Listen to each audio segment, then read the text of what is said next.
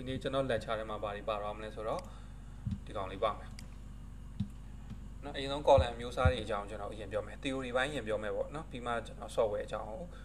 ဟိုပြောမယ်အဲ့တော့ column ရဲ့အမျိုးအစား types of column လာမယ် types of column ကိုဘယ်လိုမျိုးခွဲလဲပေါ့နော်အဲ့ဒီမှာမှကျွန်တော်ကဒီ structure engineer sensor internet force တွေကိုအခြေခံပြီးတော့ခွဲမယ်နော်အဲ့ဒါကို highlight ပြောမယ်ပြီးရင် ACI ကုတ်ရဲ့ limitation တွေပေါ့နော်ဒါတွေကလည်း ethernet အတွက်အတွက် တခြား software အသစ်တွေနဲ့ပဲအတွက်အတွက်ဒီ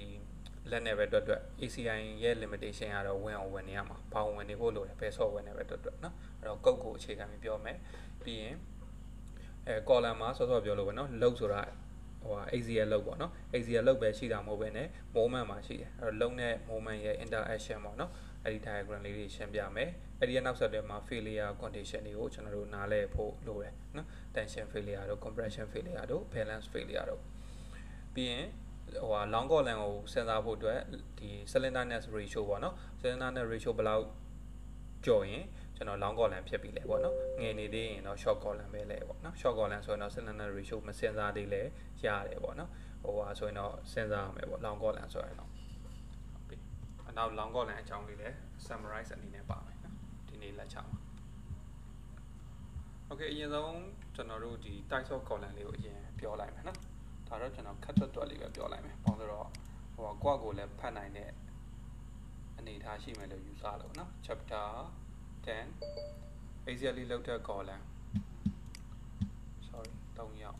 join နေ okay အဲကျွန်အဲကျွန်တော်ရဲ့ဒီတင်တန်းဆောက်ထဲမှာလည်းပါပါမယ်ဒါပေမဲ့မူရင်းကိုပဲကျွန်တော်เนาะမူရင်းစာရေးဆရာတွေရဲ့ဟိုပါပဲဒီစာတွေပဲပေါ့เนาะကျွန်တော်ပါလဲဆိုနည်းနည်းနားလည်ရလွယ်အောင်ပုံလေးတွေဖြည့်ပြီးဖြည့်ပြီးထားတယ်ပေါ့เนาะအဲ့တော့ဘယ်ဟာမှာကြီးကြီးတူတူပဲเนาะဒီစက် တည်ဟုစိန်ရဲ့စာအုပ်မှာကြည့်လိုက်တာပဲဒီမှာတိုက်ဆော့ကော်လန်ကိုကျွန်တော်တို့ကအခြေအနေ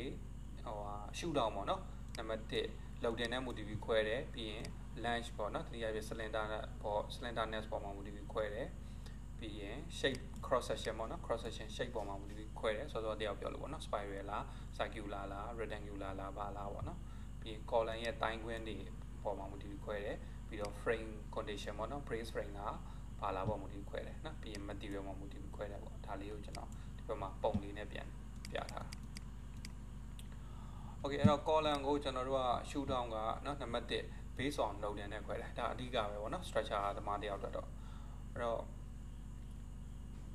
လုံတင်ထဲမှာနံပါတ်1အလွယ်ဆုံးကတော့ axially လောက်တဲ့ column axially လောက်တဲ့ column ဆိုတာကဒီပထမပုံလို့ပေါ့နော်ဟို axial ဆိုရင်ကျွန်တော်တို့နှစ်မျိုးဖြစ်နိုင်တယ်ပေါ့ axial compression နဲ့ axial tension အဲဒါပေမဲ့ column တွေမှာတော့ရာခိုင်နှုန်းက compression ရပဲများတာပေါ့နော် tension column တွေလည်းရှိတယ်ဒါပေမဲ့ဟိုမြန်မာနိုင်ငံနေထားနေဆိုရင် architecture မထွန်းကားလေးလို့ဒီ axial tension column တွေတိတ်မတွေ့ရလို့ဒါ neglect လုပ်ထားမှာပေါ့နော်အဲ axial compression ပဲပြောမယ်ဆိုရင်သူကဒီ centroid တက်တယ်ပေါ့နော်ဒီ column ရဲ့ geometry centroid မှာလောက်ကတက်တက်လာကြတယ်အဲ့တော့ eccentricity 0 0ပေါ့နော်0အနေထားကိုပြောချင်တာဒါကတော့အလွယ်ဆုံးပေါ့ အဲ့တော့နည်းနည်းခက်လာမှာက eccentricity တစ်ဖက်မှာပေါ့နော် direction တစ်ဖက်မှာဝင်တယ်ဒါ x မှာဖြစ်ဖြစ် y မှာဖြစ်ဖြစ်ပေါ့နော်ဒီပုံကတော့ x direction မှာဝင်အောင်ပြထားတယ်အဲ့တော့ direction တစ်ဖက်မှာဝင်တာကိုကျွန်တော် uni az ရဲ့ banding လို့ခေါ်တယ်ဆိုလိုတာကတော့ဟိုဒီပထမ az ရဲ့ plus ဟိုဟာ banding ဝင်လာဆိုတဲ့ဘောပဲအမှန်မှာ uni ဆိုတာတော့ direction တစ်ဖက်ကိုဆိုလိုတာနော်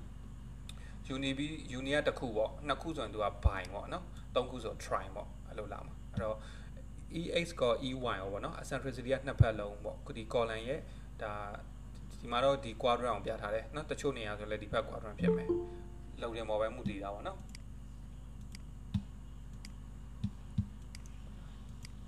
okay အဲ့တော့ bi ax ရဲ့ band ကတော့ပိုခတ်တယ်ပေါ့နော်အဲ့တော့ဒီ၃ခုကိုဒီ၃ခုအခြေခံပဲသူ့ရဲ့ cross section shape ဒီ